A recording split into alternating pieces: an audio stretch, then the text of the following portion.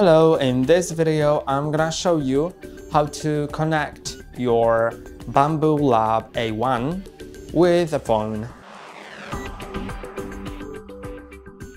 In order to connect it with phone, you need to download the Bambu Handy app. You can get it from App Store or from Play Store. Mm, just open it. It'll ask you to log in. And after you log in, uh, you can just create your account, whatever. You can go to devices here at the bottom and click on bin printer.